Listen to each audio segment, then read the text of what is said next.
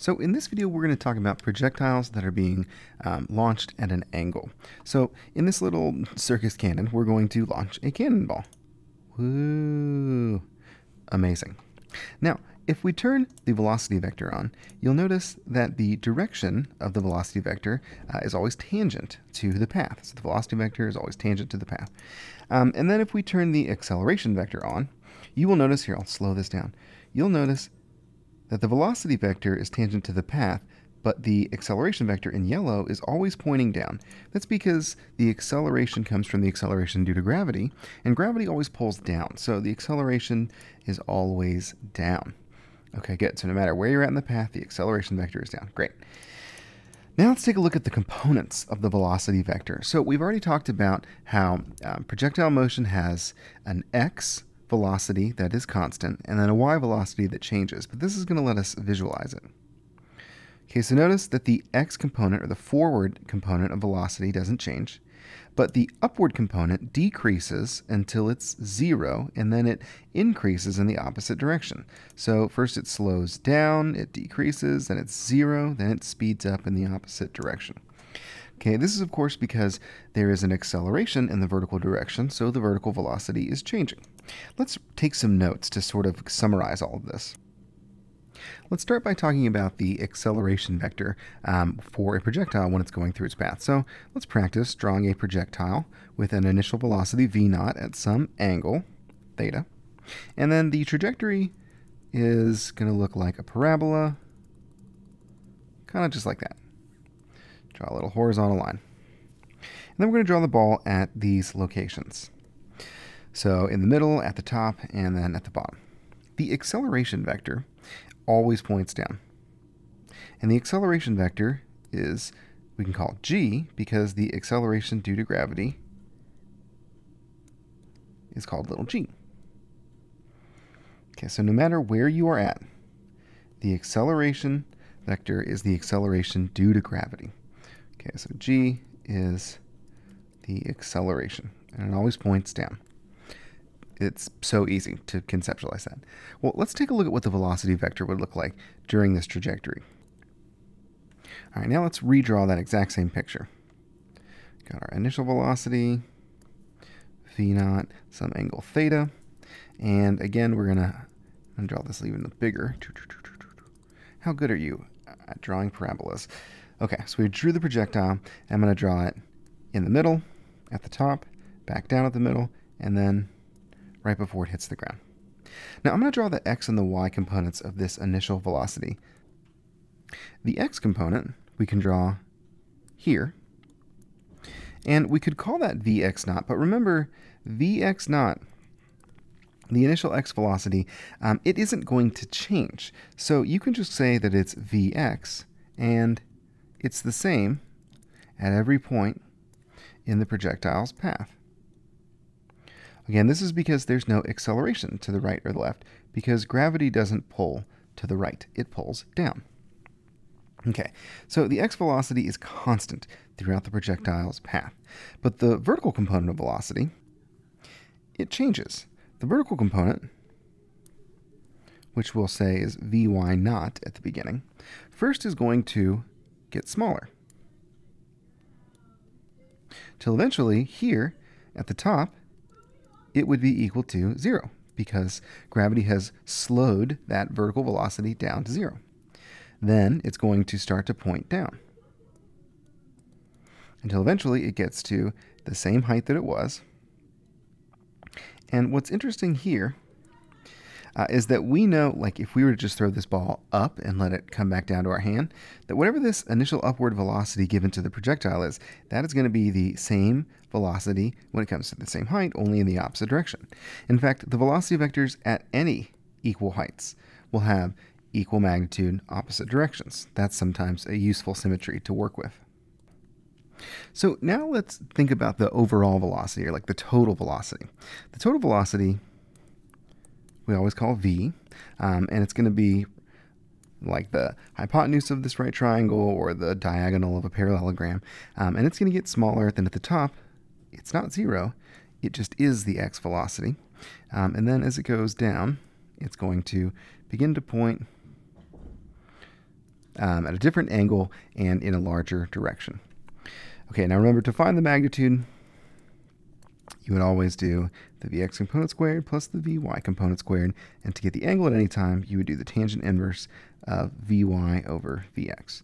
All right, let's do some problems. You kick a soccer ball giving it a velocity of 22 meters a second at an angle of 63 degrees above the horizontal. What is the maximum height that the ball reaches? What is the total time that the ball is in the air for, and how far forward does the ball travel? Okay, so let's draw this picture. Got our initial velocity, we'll call that v naught, at an angle theta. Looks like it's about 63 degrees.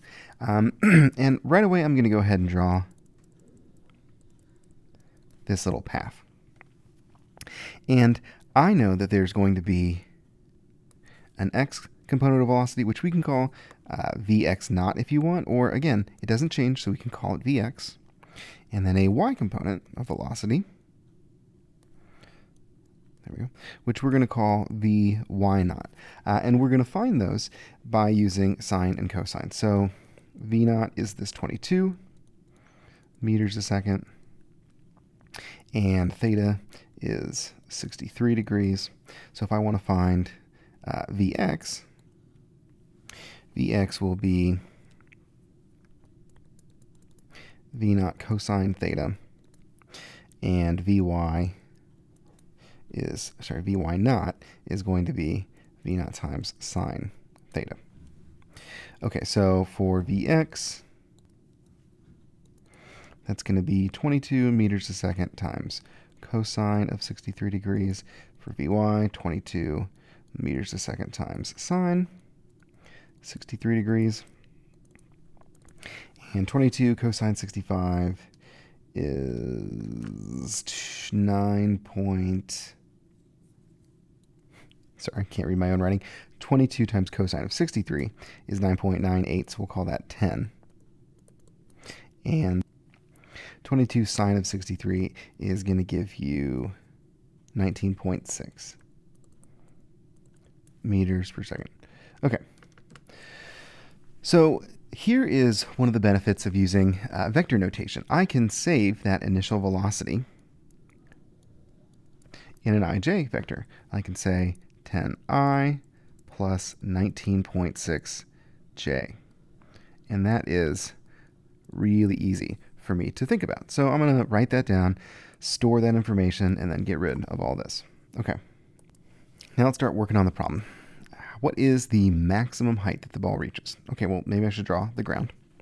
Um, and when you think about this problem, you are going to start at an initial height of 0, and then at the maximum height, you're going to have some y that we want to find.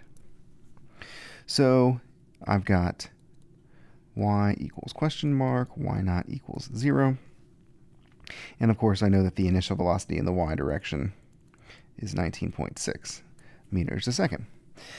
And I know the acceleration due to gravity is 9.8 meters per second squared. And I need to somehow figure out why. Hmm. What a stumper. If only I knew like what the, the velocity was at the maximum height. Well, I mean, I guess I do know that its velocity is going to be whatever the x velocity is, and like the velocity equals vx, and then the y component of velocity is just zero. Oh, okay, yeah, so that's how we're going to solve the problem. We'll say the final velocity at the maximum height in the y direction is zero, just like a free fall problem. So if I want to figure out what y is, then I notice here I have everything but time, so I'll use the ain't got no time equation. Instead of delta y, I'm going to write this as y minus y naught. Okay, and then let's get rid of things that are zero. So the final velocity is zero, and the initial position um, is zero.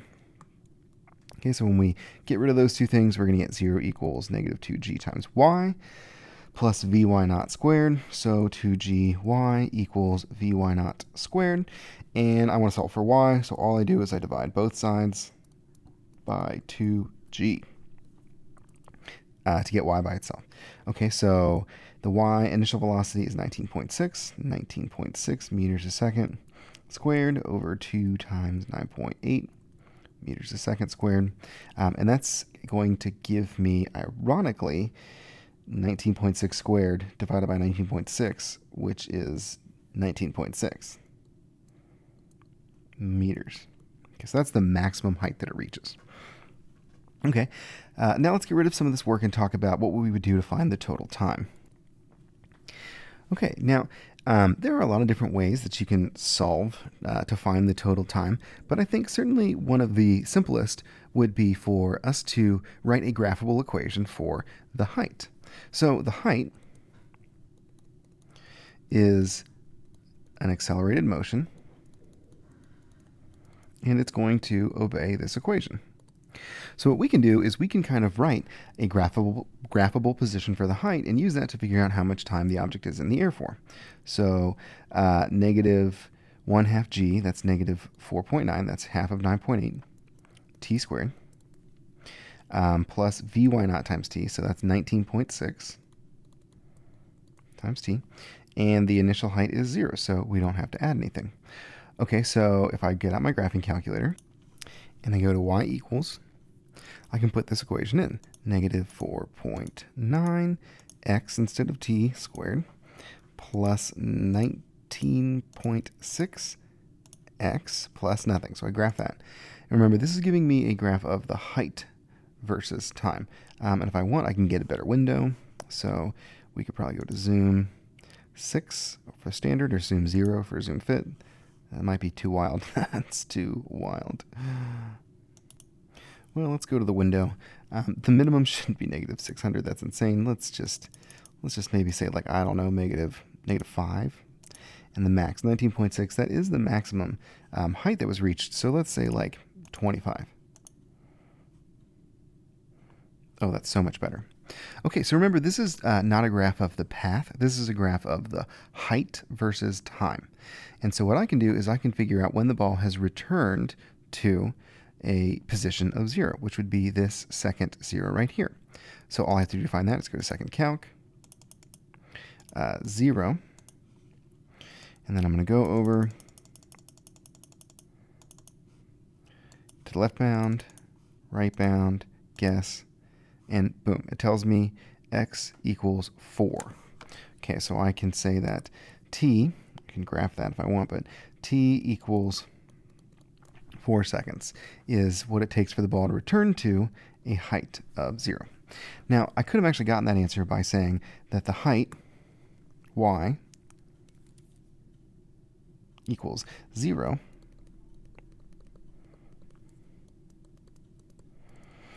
and then solving this equation because first I would divide out t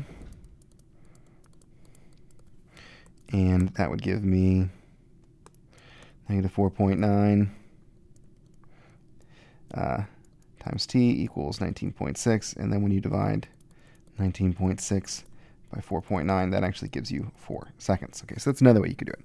So anyway it's in the air for 4 seconds uh, and I also can say that since this is a, a symmetrical problem, it starts at a height of zero and goes back to a height of zero, that I would know at the maximum height this happened at two seconds. Sometimes that's useful. Okay, let's do part C. How far forward does the ball travel?